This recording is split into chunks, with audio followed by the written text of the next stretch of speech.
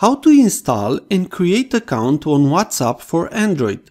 WhatsApp Messenger is a free messaging app available for Android and other smartphones. WhatsApp uses your phone internet connection to let you message and call friends and family. First, we need to go to Google Play, so open Google Play. On the search above, write WhatsApp. Now tap on the search. After you have found the app, tap on install and wait. You have now installed WhatsApp app on your Android device. After the install is complete, just tap on open. Now tap on agree and continue. Write the number of your phone. Please use the correct phone number as you receive a message with a code. Tap on the next button. Tap OK. Wait until you receive the code.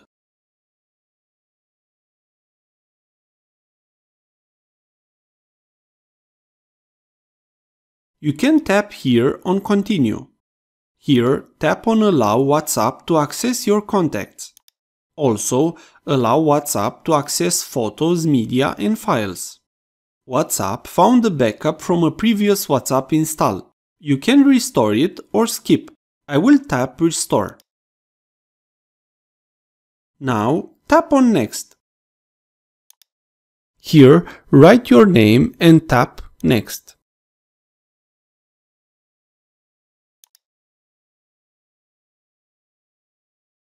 You can select here the backup section. I always choose daily. Select the Google account you wish to backup WhatsApp. Tap on Done. After we have installed and created an account on WhatsApp for Android, we can look a bit at the options we have. Tap on the three dots menu from the top. Select Settings. On the top, you will be able to change your profile picture. Tap on the image.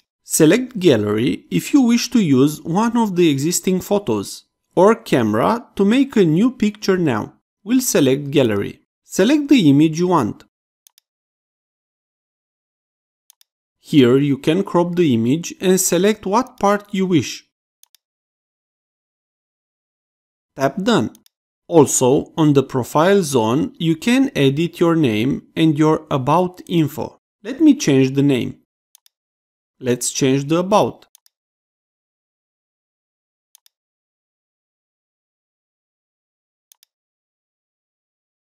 Also, if you tap on the phone number, you will be able to change your phone number. On the accounts part, you have lots of useful features. If you wish to secure your account, I would suggest activating two-step verification. You can now tap Enable. Enter a 6-digit code for you to use on the phone and confirm the code and tap Next.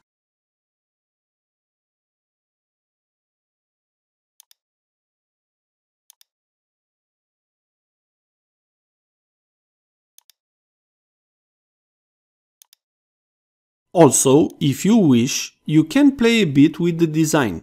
You can set up dark mode or change the wallpapers on the chat option.